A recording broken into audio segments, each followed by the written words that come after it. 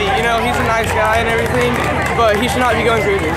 It feels right, honestly, just being able to support Eddie through this journey. Helping one of my classmates, encouraging him. Good that Eddie's recovering and going to get some treatment, but it's also sad that he, um, he diagnosed with cancer. Um, pray for Eddie, great kid, great friend. Um, Eddie, safe travels to Baltimore if you're watching. Eddie was a good friend to me. I was kind of sad when he was diagnosed with cancer. Pray for him. He's a strong boy like me.